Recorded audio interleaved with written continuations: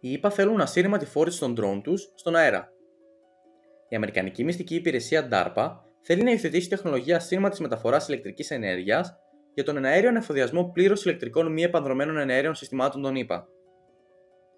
Η Αμερικανική Υπηρεσία Έρευνας Προηγμένων Αμυντικών Προγραμμάτων, DARPA, πρόσφατα υπέβαλε ένα αίτημα παροχής πληροφοριών που δείχνει πως ενδιαφέρεται για την ασύρματη φόρτιση των μπαταριών drones την ώρα που τα οχήματα αυτά πετούν. Η DARPA αποκάλυψε ένα αίτημα παροχής πληροφοριών, ενώ εξήγησε λεπτομερώς τι θα ήθελε να δει σε ένα πρωτότυπο ηλεκτρικής φόρτισης. Το Υπουργείο Άμυνας των ΗΠΑ έχει εξερευνήσει τις δυνατότητες της ασύρματης μεταφοράς ενέργειας μέσω πολλαπλών εφαρμογών. Ενώ η τεχνολογία ασύρματης μεταφοράς ενέργειας έχει ξεκινήσει να υιοθετείται σε μικρές εφαρμογές στον πολιτικό χώρο, οι δυνατότητές της στον εύρο των στρατιωτικών εφαρμογών έχουν ερευνηθεί περιορισμένα, δήλωσε η DARPA. Αντί να κατασκευάσει ένα νέο στόλο ηλεκτρικών οχημάτων ανεφοδιασμού, η DARPA θέλει να αλλάξει ρόλο σε κάποια από τα υπάρχοντα εναέρια τάνκερ ανεφοδιασμού των ΗΠΑ, με σκοπό να εκπέμπουν ηλεκτρική ενέργεια σε άλλα αεροσκάφη. Η DARPA ενδιαφέρεται να βρει τεχνολογίες που θα επιτρέψουν τη χρήση υπάρχοντων προγραμμάτων αεροσκαφών, συγκεκριμένα του στόλου KC-46 και KC-135, για την υποστήριξη περαιτέρω δυνατοτήτων μη επανδρομένων εναέριων συστημάτων, τα οποία θα έχουν την ικανότητα να λαμβάνουν ενέργεια μέσω κατευθυνόμενων ακτίνων laser.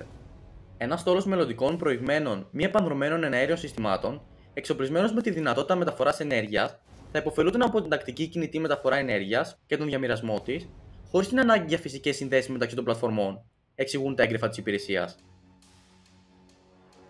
Σήμερα, αυτή η ιδέα για την ενέργεια εφαρμόζεται απόλυτα με τις συμβατικές επιχειρήσεις ανεφοδιασμού αέρο-αέρο, οι οποίες παρατείνουν το επιχειρησιακό βεληνικές τακτικών αεροσκαφών, το φορτίο τους και την αντοχή τους.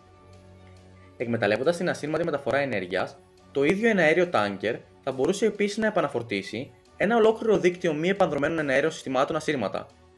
Για παράδειγμα, αυτό θα μπορούσε να γίνει πραγματικότητα απλά εάν τοποθετηθεί στο αεροσκάφος μία άκαδο μεταφοράς ενέργειας κάτω από το φτερό του, η οποία θα είναι κατάλληλη για την παραγωγή ενέργειας, που με τη σειρά της θα εκπέμπει συνεχείς ακτίνες laser σχεδόν 100 kW, σημειώνουν τα έγγραφα. Αν και το μεγαλύτερο ποσοστό των στρατιωτικών drones και άλλων αεροσκαφών παίρνουν ενέργεια από συμβατικούς κινητήρες εσωτερική καύσης, τα πλήρως ηλεκτρικά αεροσκάφη, κυρίως αυτά που ειδικεύονται στους ρόλου της αναγνώρισης και μπορούν να πετούν υψηλά και αργά, θα υποφελούνταν πολύ από αυτή την προσθήκη.